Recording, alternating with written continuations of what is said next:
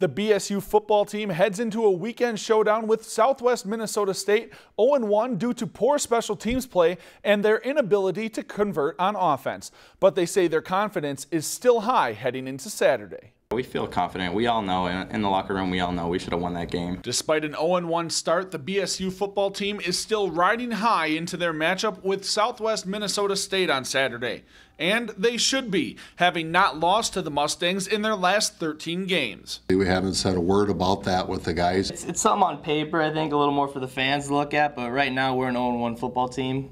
You know, we're not too happy with that. It's just been more of getting back on track and trying to perform better uh, with the things that we can control. But after giving up 21 points, one area the Beavers need to perform better in is their special teams play. We spent a lot of time on that, the kickoff return that we gave up, and uh, we really felt that was the difference in the game. I thought we played well for the other two facets of the game. Didn't score enough points, gave up too many, but I think if we would have played better, that we would have had a better chance to win. A shoulder injury to last week's starter Ryan Shields means Jordan Hine will take over control of the BSU offense. Hine will be starting. Uh, it's too bad for Ryan. You know, he got hurt real early in the game. And the confidence in Hine is sky high. I thought he made some really good improvements from last year to when he got in, and uh, I thought he stayed in the pocket a lot better, stepped up, made some really nice throws, and you know, had we caught the ball a little bit better, he would even had some uh, some bigger yardage totals and more points on the board. But Hines says the time for talk is over,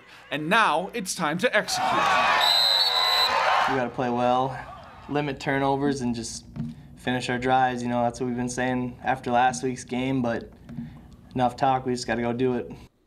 And again, BSU will look to defend that 13 game win streak against the Mustangs Saturday at 6 p.m. in Marshall. If you've enjoyed this segment of Lakeland News, please consider making a tax-deductible contribution to Lakeland Public Television.